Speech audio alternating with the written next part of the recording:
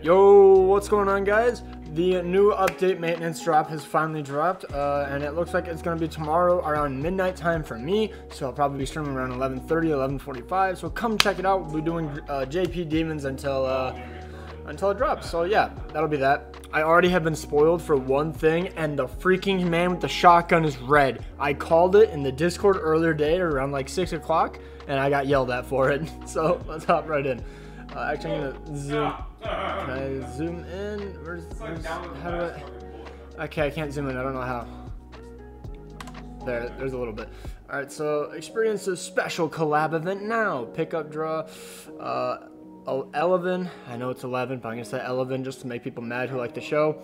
Jim Hopper, Mike Wheeler, and Will Byers. Collab heroes are at level 80. You are no way. I don't have to farm any pendants. I love you, Netmarble. Thank you. they know. Also, he looks horrible. He looks horrible. I wish I knew what these cards do. Hopefully they go over it, but yes, one of each color. So I can't tell what any of the passives do or anything. So hopefully one of them are at least god tier, so that way it's at least worth somewhat summoning. I hope it's him. I hope it's him. He look, he's the only one I actually want. These other three just look like little kids, and I want them to burn. Alright, um, so, so wait, wait, wait. Oh, never mind, that one's not cut off. I thought it was just him by himself, but he, no, they're all divided. Uh, get collab hero costume and titles as rewards during the special collab event. Oh, we got a Hawaiian shirt, I think? With the stubble? Oh, damn.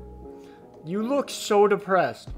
This man is literally looking like he's played Grand Cross for 12 hours, and he just can't beat that Belmos even on Hell.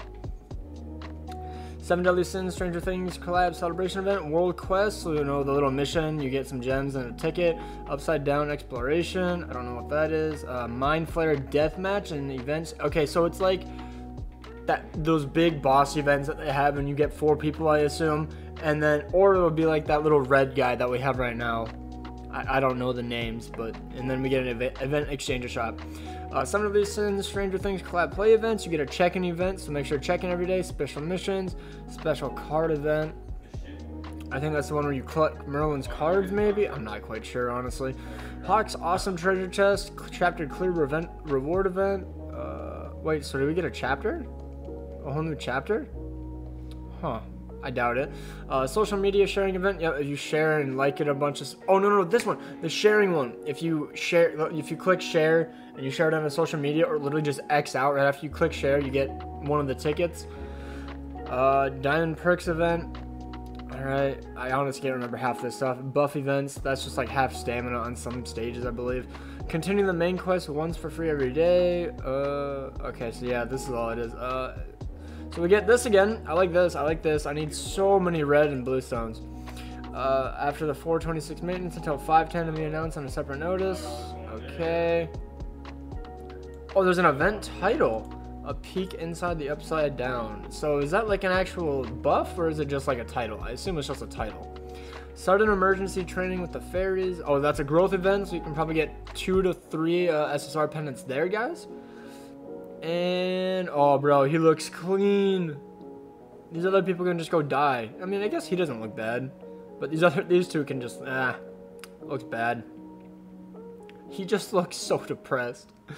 Uh, uh, guaranteed collab SSR bundle. I might just get that if I get absolutely shafted. Collab diamond bundle. This is probably gonna be eighty dollars. Uh, this is probably gonna be forty-five or whatever it is. Uh, I don't know. I, this one I think is slightly worth it.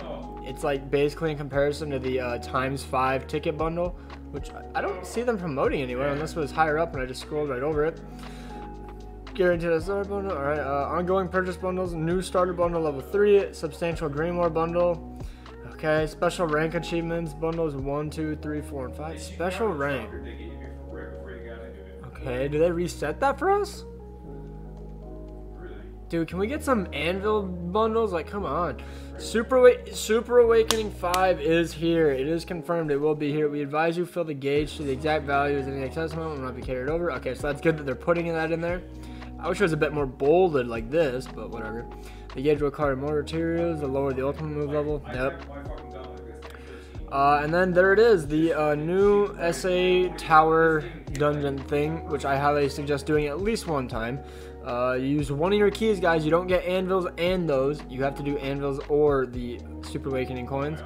Uh, and then the new Tower of Trials is added. Yes, look how look at how pitiful the rewards are. You used to get so many more uh, rewards, in my opinion. I don't know. Maybe they did compress it, and maybe I'm crazy, but it is pretty hard. But if it's the same one, you basically are just gonna bring Assault or uh, Lostvayne, Melascula, and then like King. I, I, believe that's all you really need, and then like Death Pierce on the back. So I should be able to clear this one fairly easily. Last time I had like a 2-6 Lostvayne, which just didn't kill anything.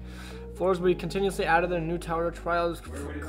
Cleared floors will not reset. Okay, but guys, comment down below. Has these floors ever been added? Like new floors been added on JP? I don't know. Each stage will have some of their special effects and enemies unique hidden in order to provide you a tougher challenge. Alright, that's annoying. Wait, wait to see what kind of various strategies you come up with as you study the battles. Alright, um... that's Festival fight shop changes. Oh, oh.